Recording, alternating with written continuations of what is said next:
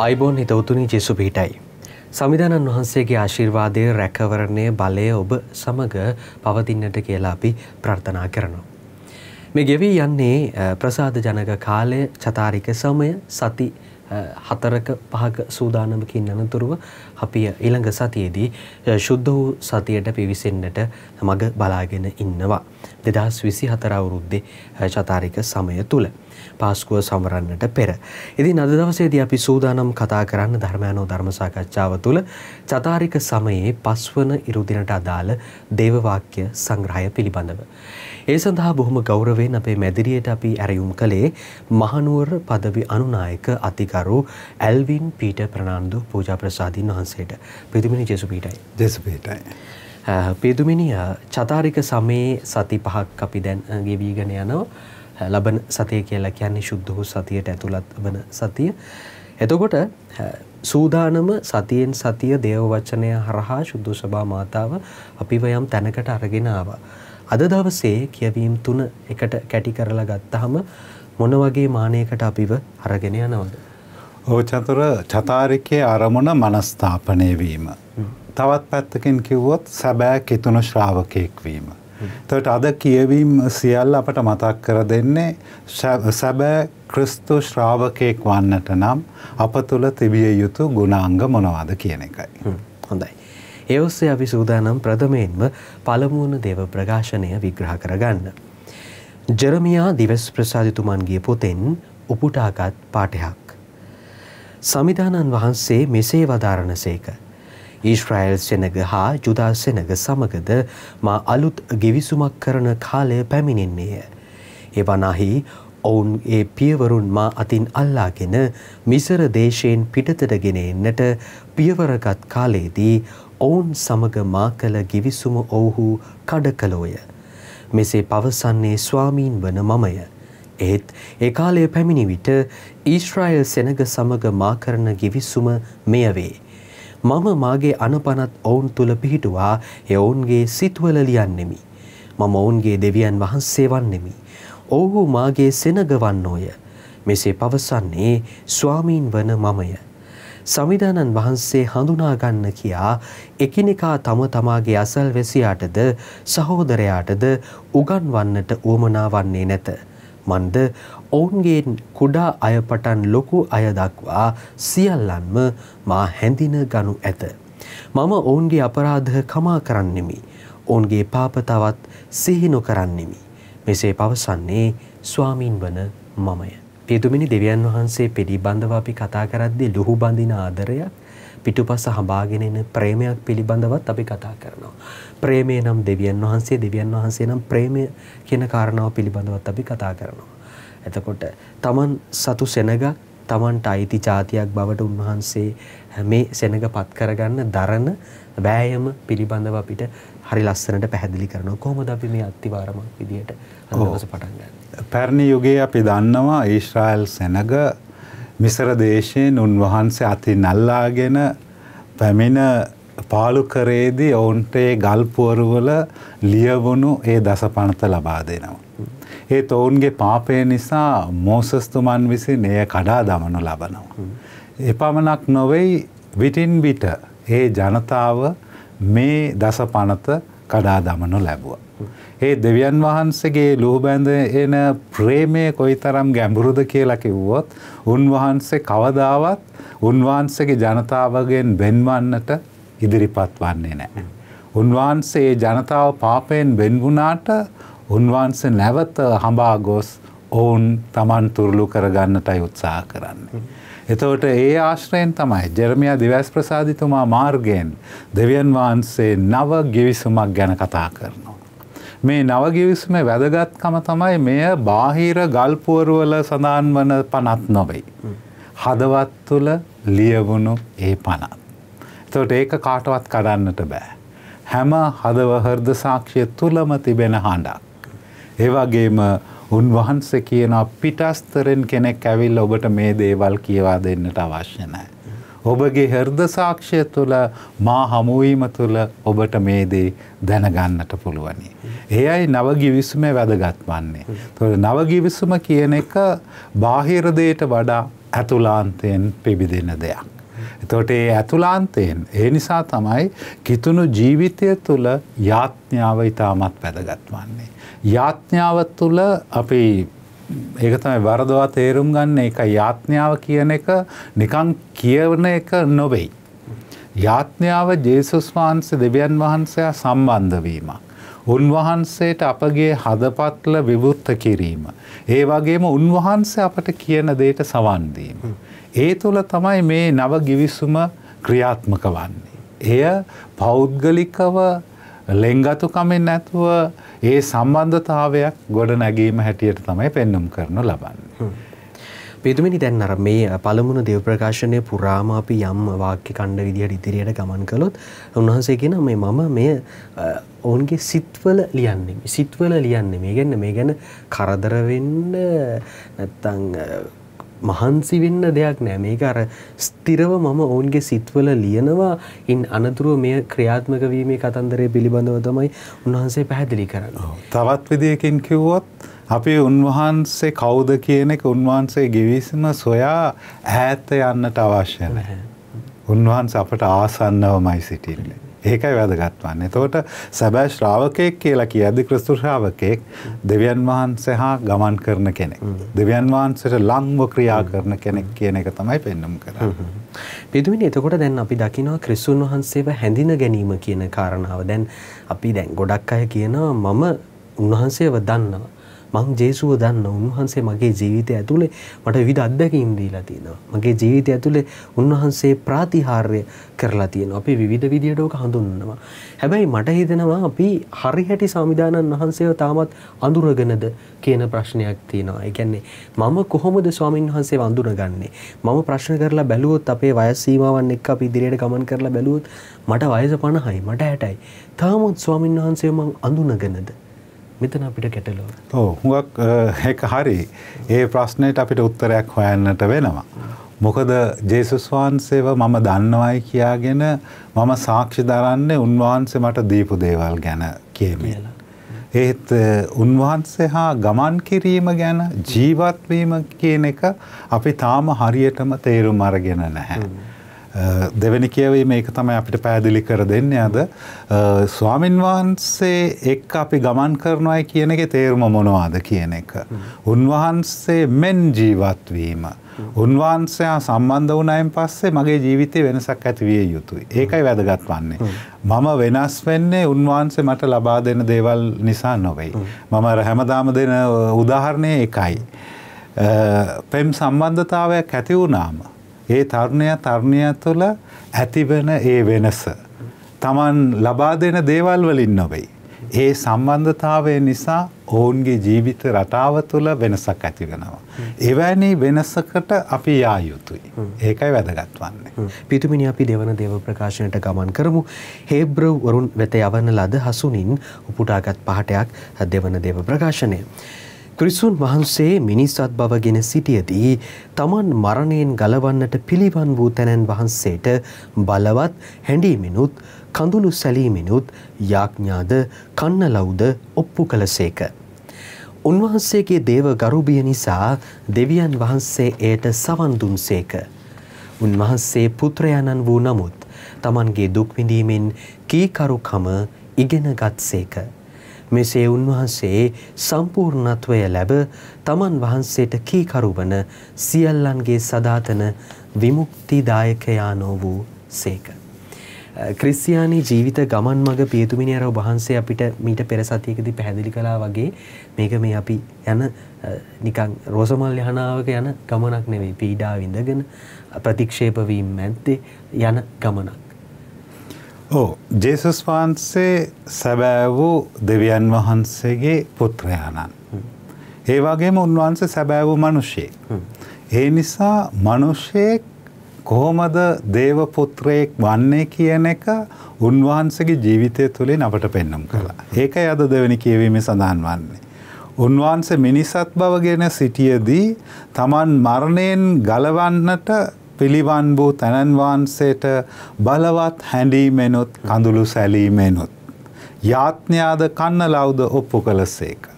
එතකොට මේක ඉතාමත් වැදගත්. අපිට අඳන්නට නැත්නම් කන්න ලව් කරන්නට බයවන්නට දෙයක් නැහැ. දෙවියන් වහන්සේට අපේ ජීවිත ඔප්පු කරන්නට පුළුවන්. දැන් කඳුළු සැලීම කියලා කියද්දි මගේ වේදනාව. මගේ වේදනාවේදී මම කරන්නේ මොනවාද? සැබෑ කිතුනුවෙක් කළ යුත්තේ මොනවාද දුක් විඳින අවස්ථාවේදී දෙවියන් වහන්සේ වෙතට පැමිණීමයි. ඒත් අපි අවාසනාවකට මෙන් දුක වේදනාව ආවම අපේ ජීවිතයෙන් මුලින්ම අහක් කරන්න දෙවියන් වහන්සේ. අපි කියන්නේ ඒකයි මෙච්චර දුක් විඳ විඳ ඇයි මම දෙවියන් වහන්සේව හොයන්නේ. ඇයි මම පල්ලියට යන්නට ඕන ඇයි මම පූජාවට සහභාගි වන්නට ඕන. එහෙත් ජේසුස් වහන්සේ අපට පෙන්නුම් කරන්නේ එකයි. කඳුළු සැලීමෙන් යාඥාව කන්නලව්වෙන් සියල්ල උන්වහන්සේට අපි ඔප්පු කළ යුතුයි. ඕනෑම කෙනෙක් දුක් විඳින අවස්ථාවේදී කුරුසියේ සිටින ජේසුස් වහන්සේ වෙත හැරි ස්වාමීනී මම මේ අවස්ථාවේදී කළ යුත්තේ මොනවාද මගේ දුක වේදනාව ඔබට බාර කරමි කියලා කියද්දී ඒ අත්දකින ඒ සැනසීම වෙන කොහෙන්වත් හම්බ වෙන්නේ නැහැ. අපි ඒකේ වටිනාකම දන්නේ නැහැ. අපි දුකේ වේදනාවේ අපේ දුක වේදනා හඳුනන දෙවියන් වහන්සේව අත ළඟ තබාගෙන අපි උන්වහන්සේගේ නෑත් වෙලා හැම තැනටම ගොස් අන්තිමට අසරණ වෙලා අන්ත අසරණ වෙලා තමයි නැවත උන්වහන්සේ වෙතට පැමිණෙන්නේ. එතනයි අපිට වර්ධන්නේ. සැබෑ ක්‍රිස්තු ශ්‍රාවකෙක් කියලා කියද්දී දුක් විඳින අවස්ථාවේ දෙවියන් වහන්සේ වෙතට පැමිණෙන්නට ඕන. ඒ වගේම උන්වහන්සේ දේව ගරුබිය නිසා තමන්ගේ කිසිම ක්‍රියාකාරකම්වලින් දෙවියන් වහන්සේට විරුද්ධව නොයා යුතුයි කියනේ දේව ගර්භිය නිසා උන්වහන්සේ දෙවියන් වහන්සේ උන්වහන්සේට සවන් දුන්නයි කියලා. දුකේ වේදනාවේ ස්වාමින් වහන්සේ අපත් සමගයි. අපි උන්වහන්සේ එක්ක නැත්තේ. අපි උන්වහන්සේ සමග සිටිනවා නම් උන්වහන්සේ මම නැවතවාරයක් කියනවා අපේ දුක්වේදනාවන් වලට උත්තර දෙන්නේ නෑ. අපට ඒ ශක්තිය දෙනවා ඒ දුක්වේදනාවන් වලට මුහුණ දෙන්නට. ඒ නිසා තමයි කියන්න උන්වහන්සේ පුත්‍රයා වූ නමුත්. තමන්ගේ දුක්විඳීම තුළින් කීකරුකම ඉගෙන ගත්සේක. Um, ප්‍රේමවන්තයනි මේක අපි දන්නා කාරණාවක්. ඒත් අපි වැඩි අවධානයක් යොමු කරලා නෑ. අපේ වයස්ගත දෙමව්පියන්ගෙන් දෙමව්පියන් එක්ක කතා කළොත් ඒ අය කියන්නේ ඒ අයගේ රෝසමහල් යානාවක් වූ ඒ ජීවිත කතාව නොවේ. කොහොමද අපි දුක්විඳලා එකට ඉඳලා දෙවියන් වහන්සේ සොයමින් මේ දූදරුවන් අපි ඇති කරගත්තේ. ඒකයි වැදගත් වන්නේ. ජේසුස් වහන්සේ දුක්විඳීම තුළින් කීකරුකම ඉගෙන ගන්නවා. අපිත් ඒකයි කළ යුත්තේ. දුක වේදනාව කියන එක මේ ලෝකයේ ජීවත් වනතෙක් අපිට තිබෙනවා. එයින් පැනලා යන්නට උත්සාහ කරන්නට එපා. ජේසුස් වහන්සේ ළඟට ඇවිල්ලා ඒක ඉගෙන ගන්න. දුකේ වේදනාව තුළින් තමයි දේව කීකරුකම අපි ඉගෙන ගන්නේ. ඒ කීකරුකමන හේතුවෙන් තමයි ජේසුස් වහන්සේ අද දෙවෙනි කියවීමේ සඳහන් වන්නේ උන්වහන්සේට කීකරුවන හැම කෙනෙකුටම උන්වහන්සේ සදාතනක විමුක්තිදායකයාණන් වන බව. ඒ නිසා අපේ ජීවිතය දුක් වේදනාවන් වලින් පිරුණු ජීවිතයක්. එක දුකෙන් මිදෙනකොට තව එකකට වැටිලා ඉවරයි. ඒ නිසා දුකක් එද්දි හැම වෙලේම අපිට අමාරුයි. ඒ ඒ සැනසීම අපි ලබා ගන්නේ දේවකී කරුම්කම තුලින්. පියන්නේ මේ දුක්පාත්‍රය මට දරාගන්න අමාරුයි නමුත් මගේ කැමැත්ත නෙවෙයි ඔබ වහන්සේගේ කැමැත්ත ඉෂ්ට කරන්න. පිරිමිනි මේ මෑතකදී දැන් සමාජය ඇතුළේ අපි ඉන්දිය අපිට එක එක මිනිස්සු මුණ ගැහෙද්දි මට හමු වුණා මේ ඉතා දරුණු පිළිකා රෝගයකින් පෙළෙන දයාබර මේ තාත්තා කෙනෙක්. නමුත් ඔහු හැම මොහොතේම කියන දෙයක් තමයි දෙවියන් වහන්සේ තුල මට මේ ලැබිච්ච දේ මම සතුටින් බාර ගන්නවා. මගේ අසනීපය හරහා මම උන්වහන්සේට ප්‍රශංසා කරනවා. මම මාන දැන් සමහරලාට වෛද්‍යවරු දුන්නු ඒ ප්‍රතිකාර වෙන්න පුළුවන් ඒවා සාමාන්‍ය විදිහට හු කරගෙන යනවා. හැබැයි ඔහු කිව්වා කිමෝත කියන ප්‍රතිකාරය ඔහු ලබා ගන්නේ නැහැ කියලා තවත් දුබලත්වයට පත් වෙන හින්දා නමුත් බෙහෙත් බොනවා ඒ දේවල් කරගෙන යනවා. නමුත් වෛද්‍යවරු කිව්වට වඩා කාලයක් තාමත් ඔහු ජීවත් වෙනවා. ඔහු කියන්නේ ඔහුගේ පෞද්ගලික යාඥාව ඇතුළේ දිව්‍යන් වහන්සේට තමන්ගේ අසනීපය හරහා ප්‍රශංසා කරනවා කියලා. එතකොට අපිට පැහැදිලි කීකරුකම ඇතුලේ ඒ හරහා අපිට මනුෂ්‍ය මට්ටමින් පියතුමින් අපිට බරගන්න අමාරුයි. ගොඩක් දේවල් අත්දැකීම අපිට බාර ගන්න අමාරුයි. හැබැයි අපි දේව වචනයට සවන් දීලා මේකෙන් උත්තර හොයන්න පටන් ගනිද්දි කීකරු වෙද්දි උන්වහන්සේට යටත් වෙද්දි අපි නොහිතන තැනට උන්වහන්සේ අරගෙන යනවා. ඔව් චතුර දැන් පිළිකා රෝහල කියලා දැක්කාම අපි පිටේ ඉඳලා හිතන්නේ එතන ඉන්න අය දුක් වෙනවා අඬනවා වැළපෙනවා කියලා. ඒට ගිහිල්ලා බැලුවොත් තමයි අපිට තේරෙන්නේ කොයිතරම් සතුටෙන් ඒ අය ඉන්නවද කියලා. අපි දුකෙන් ගියාට ඒ පිළිකා රෝගීන් අපව සතුටු කරන්නට ඒ අය සන්තෝෂයෙන් ඉන්නවා. මොකද ජීවිතේ වටිනාකම දන්නේ ඒ අය. මේ කෙටි කාලයක් වුවත් ඒ අය හැම එකක්ම සතුටින් කරන්නට. ඒ යථාර්ථය අපි තේරුම් ගත්තොත් මේ දේවල් එච්චර අමාරු වෙන්නේ නැහැ. අසන්න ශ්‍රාවකයෝ පිරිමිනි ගොඩක් ඉන්නවනේ. දැන් අසන්න ගොඩක් ඉන්න ප්‍රේක්ෂකයොත් ඉන්නවා. බලන්න ගොඩක් ඉන්න. හැබැයි අර වහන්සේ පැහැදිි කලා වගේ ශ්‍රාවකත්වය ගමනක් යන්න ඉන්න පිරිස පියදුමිනි අඩුයි. මං හිතන්නේ වර්තමාන කාලයට දැන් මට මේ ළඟදිත්ව පියදුමෙක් කියනවමට ඇහුණ මේ ශ්‍රාවකයෝ තමයි ඕනේ. අපි ඒක හදන්න ඕනේ. අපි ඒ පිළිබඳව වැඩිදුර කතාබහ කරන්න ඕනේ. සැබෑ වූ ක්‍රිස්තු ශ්‍රාවකත්වය තුළ මොනවද තියෙන්න ඕන ලක්ෂණ සාපයුතුමිනි සැබෑ වූ ක්‍රිස්තු ශ්‍රාවකයෙක් නම් කොහොමද අපි ජීවත්වෙන්න ඕනේ ඕ අද දෙවැනි කියවීම ගැන බලද්දි අපිට ඒක තවත් පැහැදිලි වෙනවා. හුඟක් වෙලාවට අපි කියන දෙයක් ඒක තමයි. දුක් විඳින අයට අපි කියනවා බය වෙන්නට එපා දෙවියන් වහන්සේ උදව් කරයි යාඥා කරන්න කියලා. කියන මට එවැනි තත්වයකට මුහුණ දෙන්නට සිද්ධ වුණොත් මම කරන්නේ මොනවද? ඒකයි වැදගත්. මම අර කියපු දේම මට කරගන්නට පුළුවන්ද? එතකොට ජේසුස් වහන්සේගේ ශ්‍රාවකයෙක් කියලා කියද්දි ජේසුස් වහන්සේ මෙන් දුකේදීත් මරණාසන්නය දක්වාම දෙවියන් වහන්සේට කීකරු වීමයි වැදගත් වන්නේ. බයිබලයේ අපිට පෙන්눔 කරන්නේ එයයි. හැම චරිතයක්ම මරණාසන්නය දක්වාම දෙවියන් වහන්සේගේ සැලැස්මට කීකරු වුණා. අපි කොච්චර මොනවා කිව්වත් අන්තිමට සිද්ධ වන්නේ දේව සැලැස්මයි. මගේ ජීවිතය අවසන් වෙන්නේ කවද්ද? මට කිසිම තීන්දු තීරණයක් ගන්නට බෑ. දෙවියන් වහන්සේගේ අතේ තමයි තියෙන්නේ. ඒ සැලස්මට අනුවයි සියල්ල සිද්ධ වන්නේ. ඒ නිසා මගේ ජීවිතේ මොනවා සිද්ධ වුණත් මොකද මේ කාලවකවානුව තුළ මම ඉපදෙන්නට ඕනෑ මේ දෙමව්පියන්ට උපදවන්නට ඕනෑ මෙතන ඉපදෙන්නට ඕනෑ කියලා කිසිම දෙයක් මම බාරගත්තේ නැහැ. මේ හැම දෙයක්ම දේව සැලස්මට අනුව සිද්ධ වෙනවා නම් දෙවියන් වහන්සේ මා ආරක්ෂා කළ යුතුයි. උන්වහන්සේගේ කැමැත්ත මම ඉෂ්ට කරනවා. ඒ නිසා යාඥාව තුළින් උන්වහන්සේට කීකරු වන්නට ඉදිරිපත් වෙද්දී මගේ ජීවිතය කොයිතරම් දුක් වේදනාවන් අභියෝගයන් තිබ්බත් සතුටුදායක දෙයක් බවට පත්වන. හිතවතුනි මා සහ පියතුමා ඉන්න මේ පසුතලයේ පසුබිම දැක්කොත් මේ කීකරුකමට හොඳ මුදාහරණය අපිට දකින්න පුළුවන්. අපිට කියන දේවචන ඇතුලේ අමු ගහට එසේ වී නම් වියලි ගහට ගුමක් සිදුවන්නට බැරිද. ඒ වගේ තමයි ඉතින් ඒ නිසා ක්‍රිස්තු ශ්‍රාවකයෙක් ශ්‍රාවිකාවක් වෙන්න මේ චතාරික සමයේ ඔබට මට බොහොම ආදරයෙන් ආරාධනා කරනවා අද දේව වචනය. අපි පියතුමිනි ශුද්ධ වූ සුවිශේෂයට අවධානය යොමු කරමු. ශුද්ධ ජොහන් සුවිශේෂයෙන් උපුටාගත් පාඨයකි. මංගල්‍යයේදී নমස්කාර කරන පිණිස ගියවුන් අතර ග්‍රීකයෝ සමහර දෙනෙක් සිටියහ. ඔවුහු ගලිලයේ බෙත්සයිදාවේ පිලිප් වෙතට පැමිණ මහතානෙනි අපි ජේසුස් වහන්සේ දකින්නට කැමැත්තෙමුයි කීහ. පිලිපේ ඇන්රුට කීය.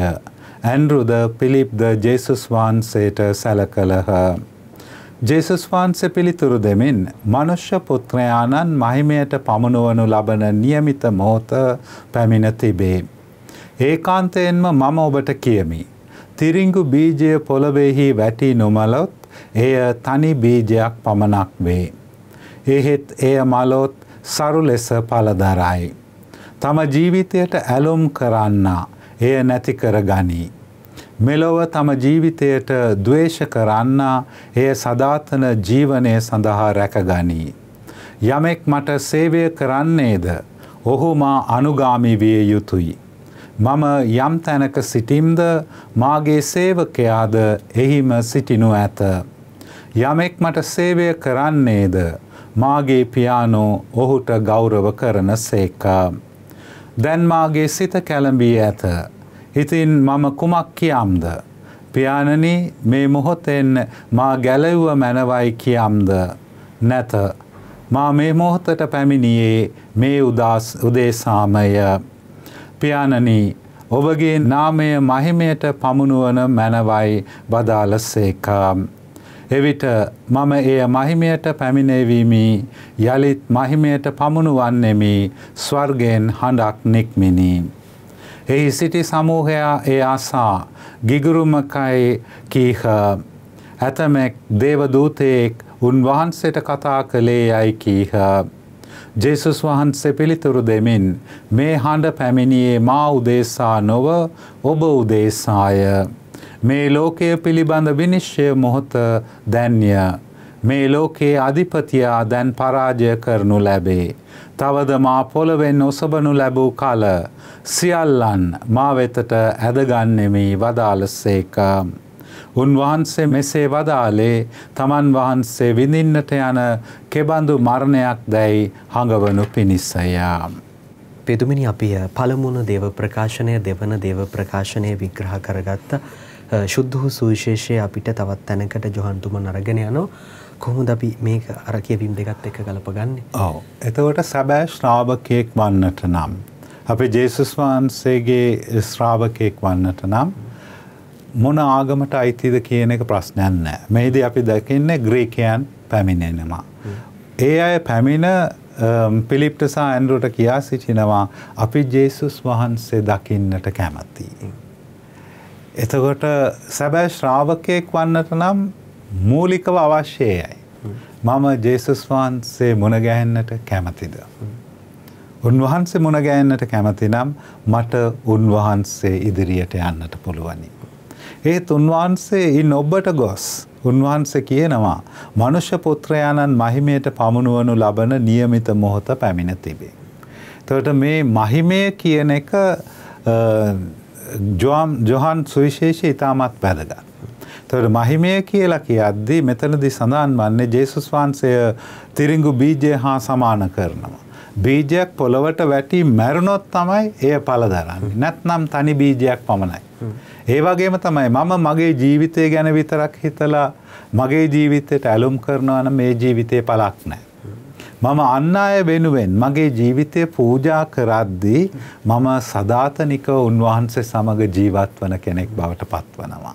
දැන් මේක නැවත වාරයක් අපිට අපේ මේ ශුද්ධවන්තයන්ගේ ජීවිතයන් තුළ දකින්නට පුළුවන්. ශුද්ධ වූ සේවාස් මුනින්දුන් වසර තුන්සේ ගණනකට පෙර ලංකාවට පැමිණියේ තමන්ගේම ජීවිතය පූජා කරමය. අපි වසර තුන්සයකට පසුවත් උන්වහන්සේ ගැන අද කතා කරන. ඒකයි වැදගත් වන්න. අපි අපි ගැන විතලක් හිතලා හැම දෙයක්ම කරනවා නම් සාර්ථකත්වයක් අත්දකින්නේ නෑ. පවුලක් ගත්තාමත් ඒකම තමයි සිද්ධ වන්නේ. පවුලේ අම්මාහරි තාත්තාරි තමන් ගැන විතරක් හිතනවනම්. ඒ පවුල්ලේ ජීවිතයක් අපිට දකින්නට ලැබෙන්නේ නෑ. ඒ හැම කෙනෙක්ම එකනෙකා වෙනුවෙන් පරිත්‍යාග වෙද්දි තමයි ඒ පවුල් ජීවිතය සතුට අපි දකින්නේ. එතකොට ඒ වගේම තම ජේසුස් වහන්සේ කියන්න තමන්ටම ඇලුම් කරන්න.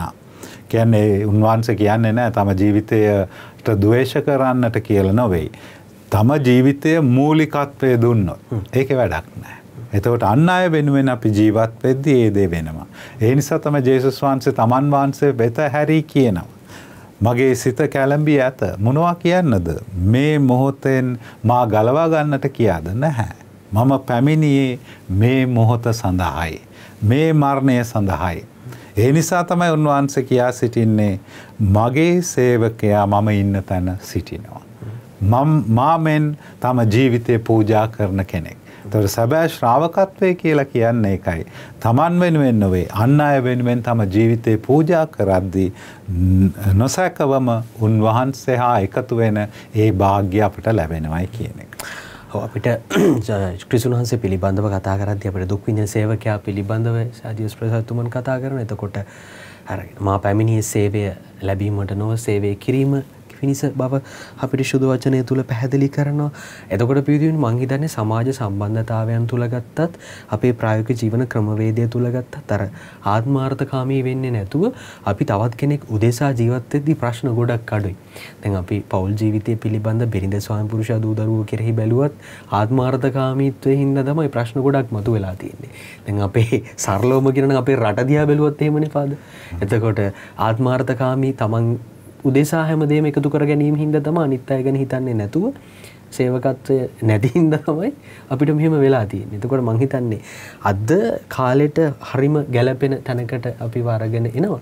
කොහොමද අපි මේක අවසානයේදී අපි දකිනවා සුවිශේෂයේදී ජේසුස් වහන්සේ කියනවා මේ ලෝකයේ අධිපතියා දැන් පරාජය කරනු ලැබේ. එතකොට අපි දන්නවා ලෝකයේ අධිපතියා කියලා කිව්වම සාතාන්. ලෝකයේ ව්‍යවහාරය. හැම වෙලේම අපව යොමු කරන්නේ ආත්මාර්ථකාමී පැත්තකටයි. ඔබේ ජීවිතය වර්ධනය කරගන්න අනිත් අයට වඩා ඔබ ඉදිරියේ සිටිය යුතුයි. නෑ සැබෑ ශ්‍රාවකයෙක් නම් අපි අපිට පුළුවන් මේ ලෝකයේ අධිපතියා ජේසුස් වහන්සේ සමග එකතු වෙලා පරාජයට පත් කරන්නට. ඒ නිසා එය ඊටමත් වැදගත්. අපිට මරණය නිසැකවම ලැබෙනවා.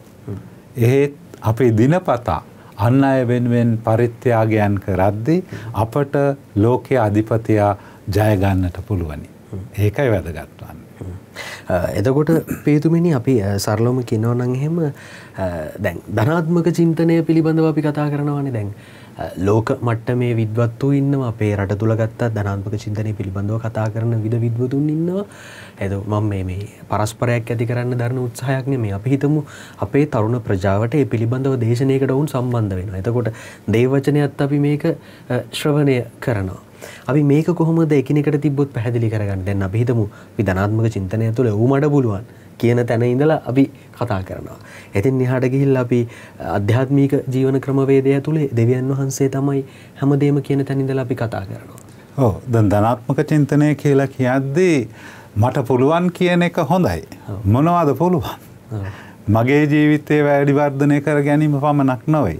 මම විතරක් සතුට වෙලා අන් අය අසතුටෙන් නැත්නම් දුකෙන් ඉන්නවා දැකීමේ වැඩක් නැහැ.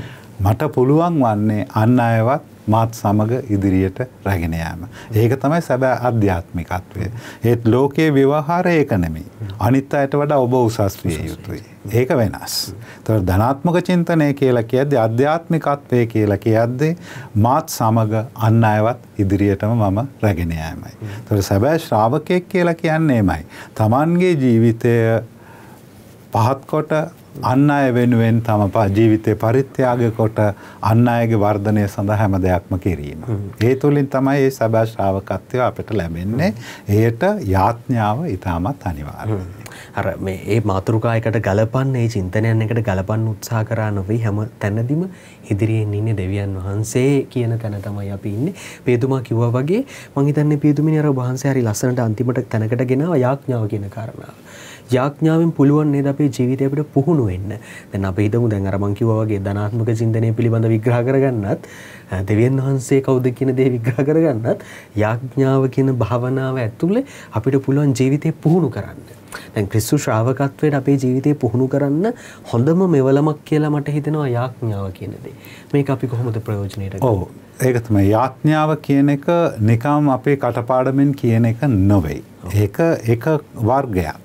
යාඥාව කියලා කියන්නේ යාඥාව තුළ තමයි අපි දේව සැලස්ම තේරුම් ගන්නේ මගේ ජීවිතය තේරුම් ගන්නේ.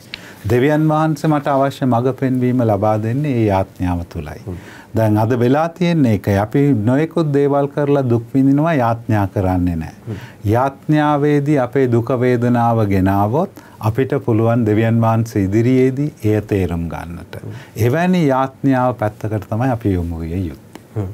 හොඳ හිතවතුනි එහෙනම් අපි අද දවසේ මේ කියවීම් තුන පිළිබඳව විග්‍රහය නිමාවට පත් කරනවා. ලබන සතියේදී ඔබ ඇතුළත් වෙනවා ශුද්ධ වූ සතියට. මේ පාස්කුව සැමරීම ඇතුළේ ඉතින් මේ දේවවචනය ප්‍රයෝජනයට ගන්න ඒ හරහා අපි හැමෝම අපේ ආත්මය ලෑස්ති කරගමු. ආත්මය ලෑස්ති වුණේ නැත්නම් අපි මොන දේ කරත් වැඩක් නැහැ. අන්තිමට පෞද්ගලිකව අපිට ගනුදෙනුවක් තියෙනවා දේවතාත්තත් එක්ක. ඒකට ආත්මය සූදානම් විය යුතුයමයි. එසේනම් ස්තුතිවන්ත වෙනවා මහනුවර පදවි අනුනායක අතිකරු ඇල්වින් පීට ප්‍රනන්දු පූජා ප්‍රසාදීන් වහන්සේට අපිත් එක්ක මේ දහම් කරුණු බෙදා හදාගත්තාට පියදුමිනි ජේසුපීටයි කියලා සමුදෙනවා.